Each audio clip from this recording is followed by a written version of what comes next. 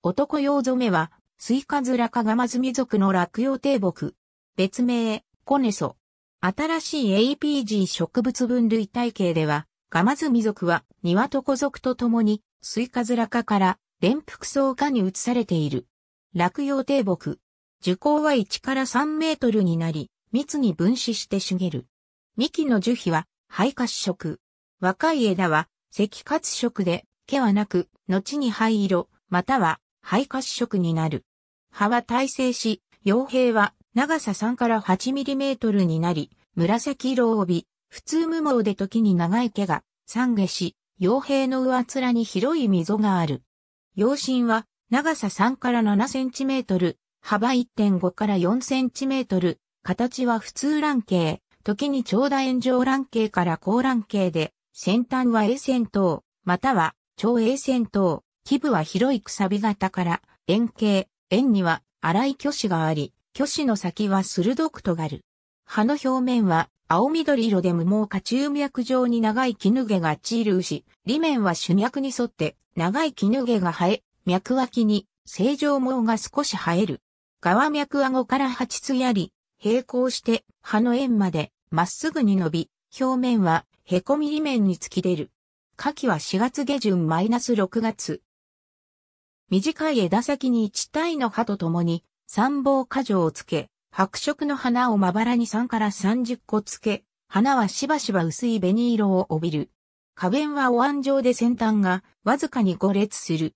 果女はしばしば垂れ下がり、計1から6センチメートルになり、果女の柄の長さは2から3センチメートルになり、光色を帯びる。花柄は長さ7から10ミリメートルあり、細く、基部に線形のツトがあり、ツトは早く落ちる。額は小さく五列し、裂片は長さ約0.5から1ミリメートルの小さな三角形で、帯赤色。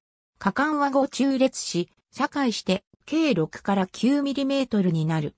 幽髄は5個あり、果敢裂片より短く、花糸の長さ1から1.8ミリメートル、約は広大型で、長さ0.5から0.8ミリメートルになる。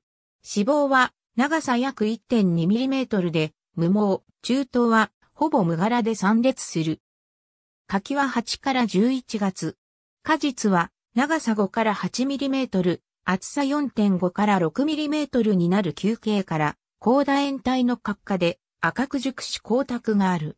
中に種子1個が入る角は長さ5から7ミリメートル、厚さ1.5から2.5ミリメートルになる扁平な高卵形で角の背側に浅い溝が2個、腹側に溝が1個と浅い状が2個ある。葉は乾くと黒くなる特性があり、この特性は他のガマズミ類には見られない。日本固有種。北陸地方を除く本州、四国、九州に分布し、産地の樹林内や林園に生育する。和名の男用染めの由来の定説はない。ガマズミ類を四つ染め、よそ染めなどと呼ぶ地方があり、果実が大きいので熟すと子供たちが食用にしていた。それに対し、本種の果実は痩せていて食用にならないので、男の字を冠して男用染めと呼ばれたのではないか、という見解がある。種商名のフラボートリチャムは、脈に毛のあるの意味。ありがとうございます。